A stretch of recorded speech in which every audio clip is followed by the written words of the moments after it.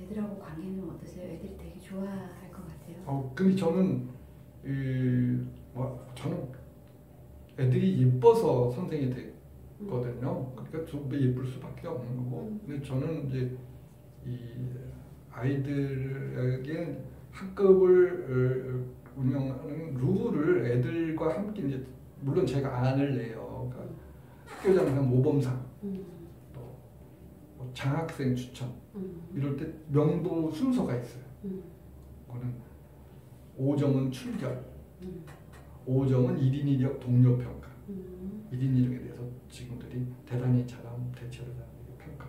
또 주번 활동에 대해서도 평가를 해요. 그래서 5점, 5점, 5점.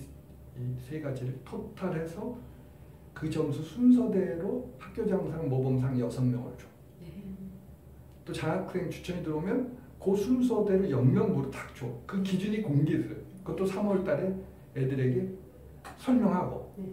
이거는 우리 반의 학급 규칙이다. 음, 근데 선생님의 안인데 너희들이 검토해주고 그리고 검토할 시간을 한 열흘 정도 줘요.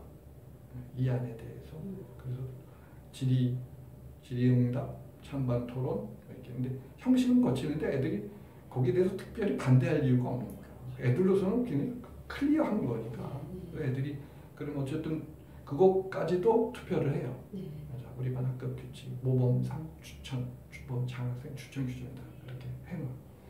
그럼 뭐 찬성, 반대, 기권, 잘 모르는 애들도 기권, 우울한 애들도 기권 차례야. 네.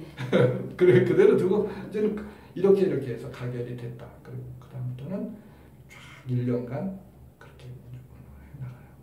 그러면 카리스마 없어도 아무 상관없어요. 어, 음. 그래서 이건 리더십의 문제. 아, 네. 기술 기술의 문제인 것이지 인간성의 문제가 아니야. 음, 그러니까 음, 선생님들 또 특히 신규 선생님들이 아셔야 될 기술들이 많아. 음, 그래서 이제 날로 먹는 담임대기 시리즈로 제가 몇 편을 했어요. 그랬더니 이제 굉장히 그 좋아들 하셨어요. 예, 예. 음, 투자 대비해서 음, 가성비 うん。